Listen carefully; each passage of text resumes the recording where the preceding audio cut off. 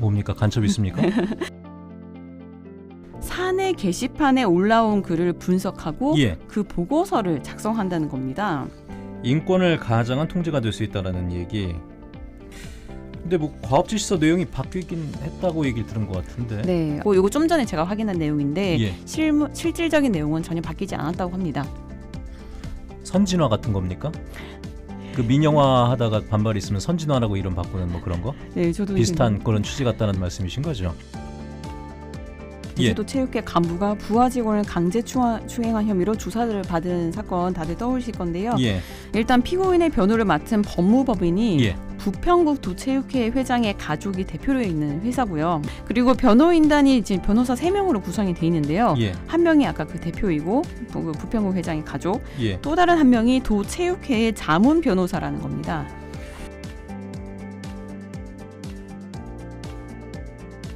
수상하다 그 용역입니다. 수상하다 그 용역이요? 네, 영화 제목 같습니다. 드라마나. 제가 신경을 좀 썼습니다. 최근 제주문화예술재단이 인권 영향 평가를 하기 위한 용역을 진행하고 있는데요. 예. 여기 포함된 과업 중에서 예. 좀 수상한 내용이 있어서 예. 이거 관련해서 좀 이야기를 해볼까 합니다. 뭡니까 간첩 있습니까? 수상한. 그 점을 좀 설명을 드리자면 예. 용역을 통해서 수행할 과업이 크게 두 가지인데요. 하나는 방금 말씀드린 인권 영향 평가를 실시한다는 거고 예. 이게 이제 재단이 앞으로 하는 사업들 중에서 인권의 영향, 도민들의 인권에 영향을 미칠 수 있는 부분을 이제 미리 분석을 해본다 음, 예. 이거고 또 다른 하나가 이제 좀 문제가 되고 있는 데요. 예. 사내 게시판에 올라온 글을 분석하고 예. 그 보고서를 작성한다는 겁니다.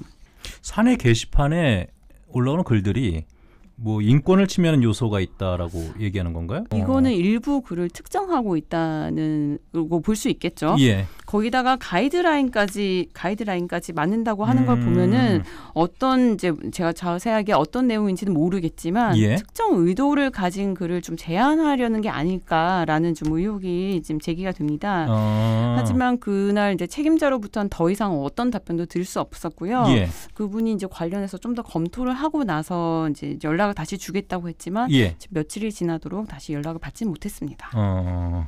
그 문제가 제기된 배경이 있습니다. 어떤 사, 어, 어떤 배경이 있는데 특정한 배경이 있는데 사측에서 이 게시판에 대해서 문제를 제기한 건 예. 지난해였어요. 본격적으로. 네. 그 지금 재단 이사장 자리가 공석인데요. 예. 전에 있었던 이승택 이사장이 2020년에 취임을 합니다. 예. 그러면서 재단의 그 경영부서 직원들이 막 물갈이라고 표현할 정도로 대거 바뀌었거든요. 예. 그리고 갑자기 새로운 사람들이 막 들어오니까 좀 업무에 익숙하지 않은 사람들도 많았다고 해요. 음. 그래서 다른 부서에서 어쨌든 그 조직 내에선 같이 이제 원활한 예, 소통을 예. 하면서 업무를 진행을 해야 되니까 다른 부서에서 좀 업무에 대해서는 좀 문의를 하 거나 예. 좀 이제 효율적으로 개선이 필요하다라고 요청하는 게시글이 부쩍 많아졌다고 합니다. 아. 근데 여기에 대해서 그 경영부서 쪽의 임직원들이 상당히 좀 부담을 느꼈고 예. 문제를 제기하기 시작했다고 하는데요. 그러자 이승택 전 이사장이 지난해 작년에 예. 이 게시판 운영 가이드라인을 제시했습니다. 아니 근데 이게 조금 아까 맥락상 좀 이상한 게 애초에 부서 간 원활한 소통을 위해서 만든 게시판이라면서요. 음. 그것도 노사가 합의해서 만든 것이고 네. 공식적인 창구인데 네. 근데 어, 전 이사장은 이걸 비공식적인 창구로 봤다라는 얘기가 되네요. 좀 네, 앞뒤가. 그랬습니다. 어. 그렇습니다. 그래서 당시에 예. 그 노조 측에서는 이사장의 입맛에 맞지 않는 글은 비공식적이라고 규정해서 예. 노사협의회 자체를 모독하는 행태라는 목소리까지 나왔었습니다. 네, 일단 재단 측에서 문제가 될 만한 그 문제가 된다고 보는 게시판 글 자체를 우리는 좀 모르잖아요. 네네. 모르기 때문에 아까 뭐 물어는 봤지만 추측일 수밖에 없는 것이고 뭐라고 네. 하기가 좀 어려운데 네. 이 게시판 글들이 인권 침해 소지가 될 수 있나요? 어떻게 되죠? 그래서 제가 그 부분을 예. 그 인권 전문가의 의견 좀 들어봤거든요. 예. 여러분도 함께 공유하면 이해하시기 좋을 것 같아서 좀 네. 소개를 드리자면 신강엽 제주평화인권연구소 왓 소장은 예. 여기 대해서 그 용역의 정확한 내용을 잘 모르겠지만 예. 우선 이 용역을 진행하는 재단에서 인권 침해라는 용어에 대한 이해가 부족하는 것 같다라고 조심스럽게 이야기를 하더라고요. 아, 그 사측에서 보는 인권 침해라고 하는 것이 인권 침해라고 네. 보기 어렵다 이 얘기가 되나요? 네네. 아, 그 이유가 인권 침해라는 건 어떤 조직 내에서 그 권력의 상하 관계가 존재할 때, 예. 그럴 때 이제 성립할 수 있는 개념이라고 아, 설명을 예. 하더라고요. 다시 말해서 상대적으로 권력을 가진 사람이 권력을 덜 가진 사람에게 그러니까 음. 쉽게 말해 강자가 약자의 권리를 침해할 때 예. 인권 침해라는 게 성립이 된다는 겁니다. 음. 뭐 만약에 바- 거꾸로 약자가 강자에 대해서 또는 이제 직원들 간에 예. 그런 비판을 하거나 또 더 넘어서 모욕을 한다거나 만약에 예. 이런 경우가 있을 때는 예. 이건 인권 침해가 아니라 예. 개인 간의 명예 훼손이나 모독의 개념이라는 거죠. 아, 개념 자체를 좀 네, 달려봐야 네. 된다는 얘기네요. 네, 그렇습니다. 어, 어. 근데 만약에 재단 내에서 예. 상사가 부하의 권리를 침해하는 인권 침해가 발생할 수도 있잖아요. 예. 그렇다 하더라도 이건 인권 실태 조사 같은 조- 내부 조사를 통해서 해결해야 할 문제이지 어. 제주도민의 인권에 영향을 미치는지를 평가하는 인권 영향 평가 범주에 넣는 건좀 예. 상식적이지 않다라고 설명을 하더라고요. 음. 그러면서 권리를 가지고 있는 상대적으로 가지고 있는 사측에서 예. 직원들이 자유롭게 소통하는 게시판 글을 검토하고 예. 또 가이드라인을 설정해서 이를 따르도록 만약에 강요를 한다면 아. 사내 권력을 유지하기 위한 통제 정책으로도 볼 수 있다고 우려를 예. 했습니다. 그리고 여기서 또 중요한 게 예, 이 예. 용역이 도민 예산으로 진행이 되고 있다는 겁니다. 재단이니까 아, 도민 예산이군요. 인권을 가장한 통제가 될 수 있다라는 얘기. 근데 뭐 과업 지시서 내용이 바뀌긴 했다고 얘기를 들은 것 같은데. 네, 아마 제가 확인한 바에 따르면 예, 예. 어제 이제 좀 급하게 바뀐 걸 이제 확인할 수 있었는데요. 예, 예. 제가 이걸 이제 취재를 하고 나서인지 뭐, 뭐이 정확한 이름 모르지만 예. 이게 뭔, 뭐, 뭐 문제가 된다는 걸 자기네 자체적으로 느껴서인지 예. 그 사내 게시판 글을 분석한다는 문구가 게시판 운영에 대한 인권 경영 컨설팅이라는 문구로 바뀌었더라고요. 뭐 노골적으로 표현했던 부분이 포장만 좀 약간 바뀌었을 뿐이지 크게 예. 달라지는 건 없을 것 같고 이거 좀 전에 제가 확인한 내용인데 예. 실무, 실질적인 내용은 전혀 바뀌지 않았다고 합니다. 선진화 같은 겁니까?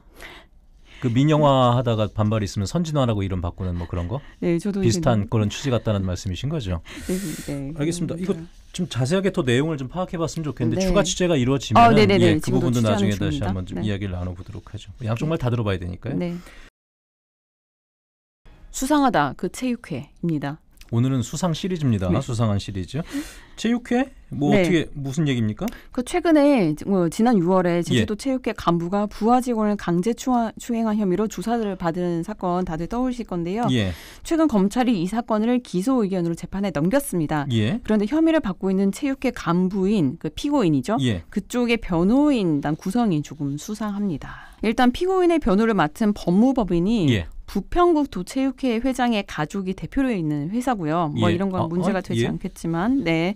그리고 변호인단이 지금 변호사 세 명으로 구성이 돼 있는데요. 예, 한 명이 아까 그 대표이고 부- 그 부평구 회장의 가족, 예. 또 다른 한 명이 도체육회의 자문 변호사라는 겁니다. 재밌네요. 그러니까 체육회 자문 변호사가 체육회에서 일어난 강제 추행 혐의를 받고 있는 간부의 변호를 맡는다. 네. 뭐 이런 얘기가 되는 겁니까? 네, 이게 어. 좀 도민 정서 사람으로도 쉽게 이해가 가지 않을 것 같은데 예, 예. 일단 제가 이제 법 쪽에 잘 모르니까 예. 법 쪽의 전문가에게 좀 물어봤더니 예, 사실 누구나 벼- 자유롭게 변호인을 고용할 수, 할 수 있는 권리가 있기 때문에 예. 그 자체로는 법적으로 문제가 되지 않는다라고 음, 하더라고요. 다만 좀 우려가 되는 점은 그 간부가 체육회 내에서 지금 징계 절차가 진행 중이거든요. 예. 근데 이 재판 결과 가 징계 결과에 영향을 주게 된다면 좀 음. 이해 충돌의 소지가 있을 수도 있다는 겁니다. 근데 이렇게 되면은 물론 이제 법적으로 문제가 없다고 하는데 피해 당사자도 체육회 소속이잖아요. 네, 안 그래도 그분과 이제 연락을 해봤 피해 당사자와 이제 연락을 해봤는데요. 예. 체육회가 마치 가해자의 편에서 변호를 하는 것 같은 느낌이 들어서 아, 굉장히 위축이 되고 예, 예, 좀 어이가 없는 상황이라고 하더라고요. 그 지난 6월에 체육회가 기자회견을 열어서 이 사태에 대해 고개까지 숙이면서 이제 사과를 했지만 예, 그 예. 진정성을 느끼기는 어렵다고 토로를 했습니다. 피해 당사자 같은 경우에는 아니, 자기가 소속돼 있는 체육회 소속의 자문 변호사가 있고 또 회장의 가족이 음. 있는 법무법인에서 이걸 맡으면은 네. 어 이거는 좀 뭐랄까 좀 위협적으로 느낄 수도 음. 있을 부분인 것 같긴 네. 한데 음 알겠습니다. 요것도 추가 취재 좀 어. 부탁드리겠습니다. 네. 재판은 진행될 테니까요. 네. 자 알겠습니다. 오늘 다 수상한 시리즈로 이야기를 좀 풀어봤고요. 제주투데이의 조수진 기자와 함께했습니다. 오늘도 고맙습니다. 감사합니다.